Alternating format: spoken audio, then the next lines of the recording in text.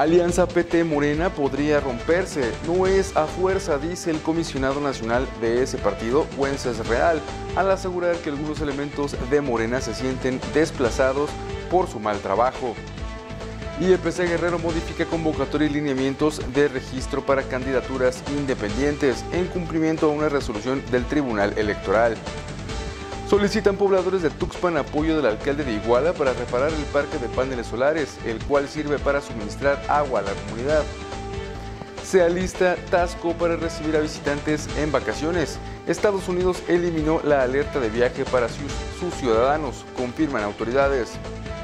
Reporta salud 10.794 nuevos casos de COVID en 24 horas y se rompe un nuevo récord. El país además acumula 102.739 fallecimientos a causa de la enfermedad. Estas son las noticias de hoy, miércoles 25 de noviembre del 2020. Con esto y más yo te espero en esta nueva edición de Diario 21 Televisión. Arrancamos.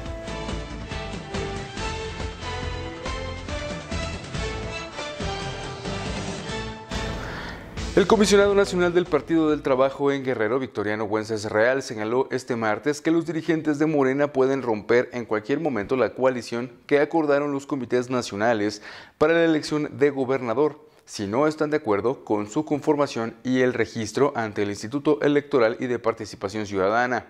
Al respecto comentó que nadie está a fuerza y sintetizó en una entrevista tras los pronunciamientos de los dirigentes y diputados locales morenistas, quienes han coincidido en que no necesitan ni al PT ni al Partido Verde Ecologista para ganar los comicios del 2021.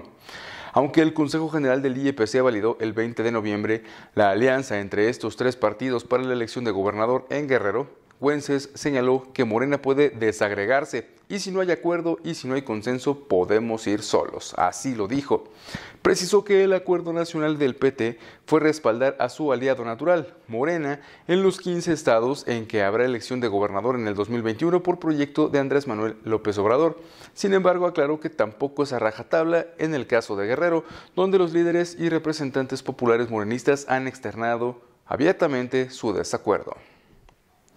En otros temas, el Consejo General del Instituto Electoral y de Participación Ciudadana del Estado de Guerrero celebró de manera virtual la décima octava sesión extraordinaria en la que se aprobó la modificación de la convocatoria dirigida a la ciudadanía interesada en postularse mediante una candidatura independiente a los cargos de gubernatura del Estado, diputaciones locales y miembros de ayuntamientos en el Estado de Guerrero, así como los lineamientos para el registro de candidaturas para el proceso electoral 2020-2021.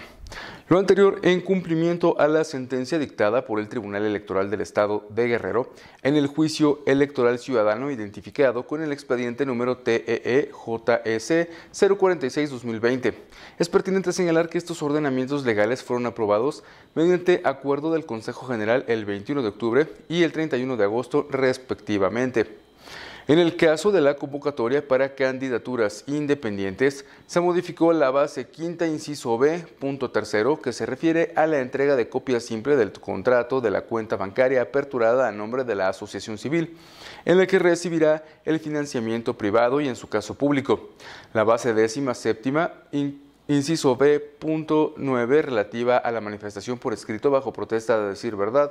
Se agregan dos incisos para especificar los casos en que deberán separarse del cargo partidista las y los aspirantes a candidaturas independientes. Y la base vigésima, segunda, de la que se precisa se pueden existir sustituciones a candidaturas independientes. En otros temas, el presidente municipal visitó la mañana de este martes la comunidad de Tuxpan, en donde el comité gestor y operador de la ampliación de la red de agua potable le entregó una solicitud para que apoye a la comunidad con la reparación del parque de paneles solares a través del cual se suministra el agua a los pobladores.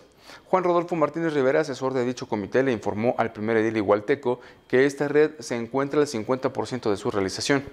Ya se concluyó el pozo del tanque de almacenamiento de 321 mil litros, el parque de paneles solares, el pozo profundo y una bomba de 50 caballos de fuerza de más de un cuarto de control. Durante la visita del alcalde de Igualteco, Martínez Rivera le explicó que una persona malintencionada provocó un daño a uno de los paneles, lo cual provocó un cortocircuito. Y este a su vez le provocó un daño a la tarjeta madre y un sensor, además de que el pozo se quedó sin agua por la sequía, situación por la que es necesario una mayor profundidad y reparar la bomba que se dañó a la brevedad. En otros temas, el pueblo mágico de Tasco del Arcón se alista para temporada turística de diciembre con las debidas medidas sanitarias y personal capacitado contra el COVID-19 para atender de forma segura a los visitantes, tanto nacionales como extranjeros. Luego de haberse eliminado la alerta de restricción de viaje para ciudadanos de los Estados Unidos a la considerada ciudad luz del estado de Guerrero. Recientemente, el embajador de los Estados Unidos en México, Christopher Landau, junto con su esposa, visitó el pueblo mágico de Tasco del Arcón, donde confirmó que se ha eliminado la restricción de viaje a dicha ciudad platera. En tanto, el gobernador Héctor Astudillo Flores ha implementado una serie de medidas tanto sanitarias como de concientización, así como de capacitación a través del programa Punto Limpio a prestadores de servicios turísticos con el propósito de garantizar la estancia de sus visitantes. En más información, este martes las autoridades de salud reportaron que México ya tiene 1.060.152 casos acumulados de coronavirus, lo que implica que entre ayer y hoy se sumaron 10.794 nuevos registros a la plataforma en un solo día. Por otro lado, las defunciones por COVID-19 suman 102.739, cantidad que representa un incremento de 813 muertes al compararla con los datos reportados del lunes. Regresamos con más información después de esta pausa comercial. Ven a El Tasqueño y prueba nuestras especialidades a la carta. Deleítate con nuestras enchiladas de mole poblano. Atrévete a probar nuestros cortes y arracheras. Ponte fit con nuestras ensaladas primavera o date un gusto con nuestra carta de postres. Compruébalo, te vas a sorprender. Y si te gusta lo tradicional, ya lo sabes, somos expertos en barbacoa. En más noticias, el Consejo Ciudadano para el Desarrollo Económico del Estado de Guerrero entregó un reconocimiento al gobernador Héctor Astudillo Flores y a su equipo de trabajo por consolidar la economía, el bienestar social, la gobernabilidad y la estabilidad política, así como mejorar la seguridad en la entidad en beneficio del pueblo guerrerense durante estos últimos cinco años de administración.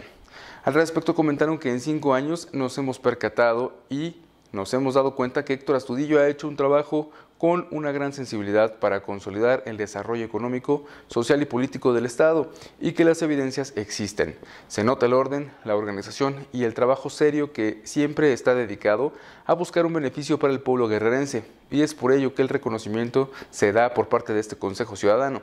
Así lo expresó Jorge Ochoa Jiménez. Reunidos en las oficinas de la ProTour, el presidente del Consejo Ciudadano de Seguridad y Desarrollo Económico, Jorge Ochoa Jiménez, señaló que existen evidencias de los avances que ha tenido el Estado de Guerrero, por lo que este reconocimiento fue consensuado con un gran estímulo para el gobernador Astudillo y su equipo de trabajo en este último año de gobierno. En más información, al participar en la segunda reunión nacional de titulares de los sistemas estatales DIF, la presidenta del DIF Guerrero, Mercedes Calvo de Astudillo, presentó un informe pormenorizado de las acciones establecidas por el organismo que representa para hacer frente a la pandemia del COVID-19. Durante el encuentro virtual en el que se contó con la asistencia de la secretaria de Gobernación, Olga Sánchez Cordero, y de la, la titular del Sistema Nacional para el Desarrollo Integral de la Familia, María del Rocío García Pérez, Mercedes Calvo calificó como acertado el encuentro, con el cual se fortalece la relación institucional para impulsar políticas públicas en beneficio de las niñas, niños y adolescentes. Señaló que se han entregado donaciones en las siete regiones del Estado de material médico, entre los que destacan 264.757 insumos para la prevención y el combate al COVID-19. En el CRIC Chilpancingo, dijo, se puso en marcha un área de medicina preventiva para COVID-19, donde se ofrece atención integral a la población vulnerable con síntomas de esta enfermedad que incluye estudios de laboratorio, entrega de medicamento gratuito y consultas médicas. En más información, durante la transmisión diaria sobre la situación del COVID-19 en Guerrero, el secretario de Salud Carlos de la Peña Pintos precisó que el principal reto de este momento es salvar la Navidad, tener una oportunidad a partir del 15 de diciembre y una mayor oportunidad de reactivación por lo que las medidas que se están aplicando buscan precisamente el poder generar un escenario propicio para mantener una estabilidad en las cifras relacionadas con este padecimiento. Al respecto comentó, somos un lugar turístico, somos un lugar con mucha movilidad, somos un lugar en donde tenemos varios focos rojos y precisamente es ahí en donde se está trabajando. Y seguiremos trabajando hasta consolidar, hasta que verdaderamente nosotros tengamos una estabilidad continua en nuestras cifras. Creo que eso es lo más importante. Así lo puntualizó. Acompañado por la directora de comunicación social Erika Lurs Cortés. El titular de salud en el estado dijo que es necesario seguir en el empeño para frenar el avance de esta enfermedad. Resaltó que mucho depende de la participación de todos y que recordó que durante el tiempo en el estado que se mantuvo en semáforo amarillo, la población relajó algunas medidas que lo hicieron retroceder al semáforo naranja, por lo que pidió mayor colaboración de parte de la ciudadanía. En más información, el rector de la Universidad Autónoma de Guerrero, Javier Saldaña Almazán, rendirá de forma virtual su cuarto y último informe de labores debido a la pandemia del COVID-19. El Consejo Universitario convocó a los consejeros a sesión solemne para el día 30 de noviembre a las 12 horas para tratar como punto único el informe de labores. Especifica que debido a las condiciones de confinamiento, la sesión se desarrollará a través de la plataforma Zoom y que el link y el ID de la reunión será llegar por correo electrónico de cada uno de los consejeros. El, documento firmado por el rector Javier Saldaña como presidente del Consejo Universitario y el secretario general de la Universidad José Francisco Romero Olea exhorta a los universitarios a seguir atendiendo las recomendaciones sanitarias de la UAGRO y de la Secretaría de Salud. Este informe de labores será el último del rector para culminar su gestión y se espera que a principios de año convoque a elecciones para que llegue su sucesor. Volvemos con más información después de esta pausa comercial.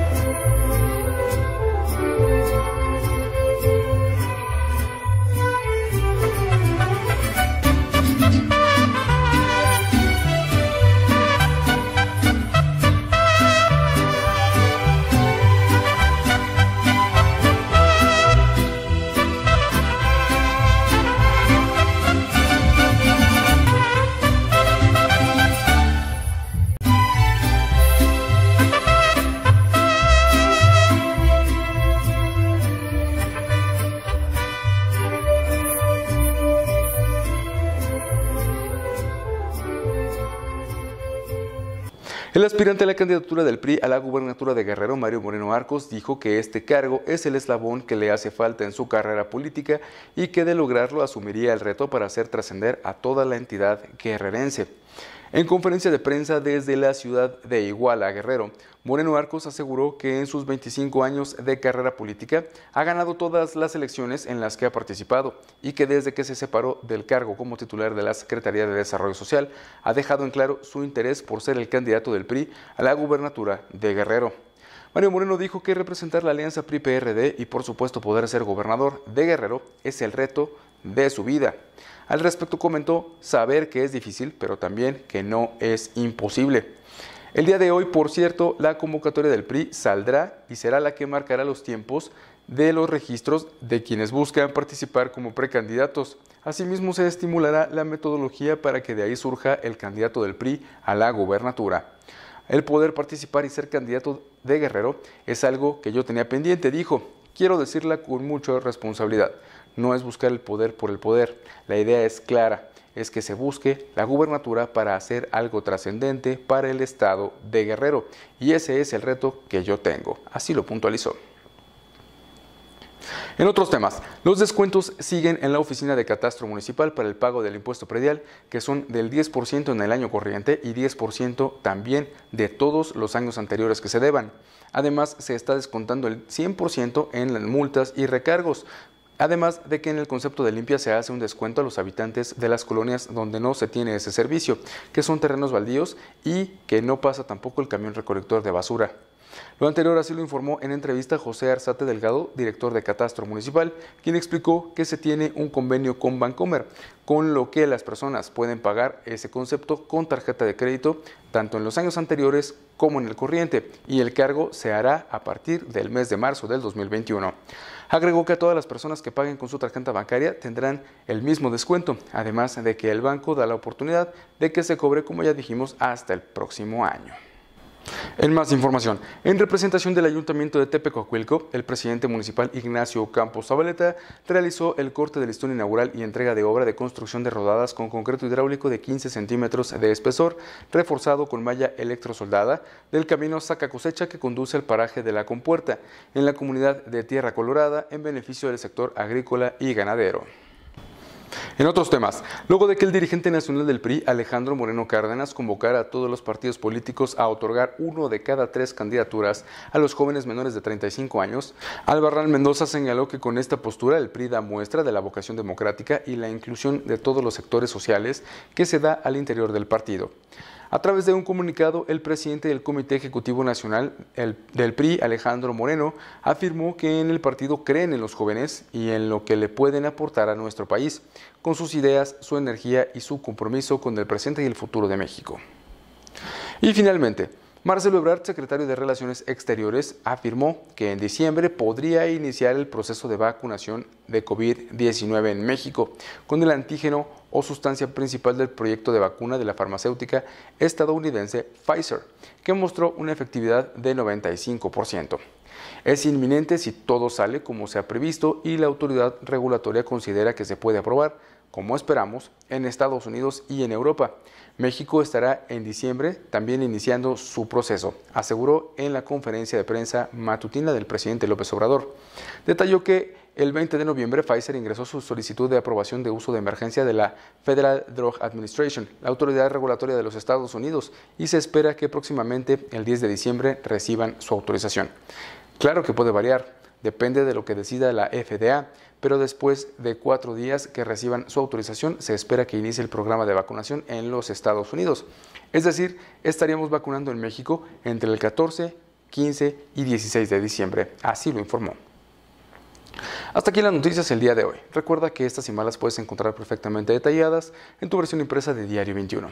Yo soy Jorge Albarrán, muchas gracias por tu preferencia una vez más. Nos vemos el día de mañana. Por favor recuerda que la pandemia no ha terminado. Si vas a salir de casa, hazlo con tu cubrebocas, manteniendo la sana distancia y lavándote las manos frecuentemente. Hasta la próxima.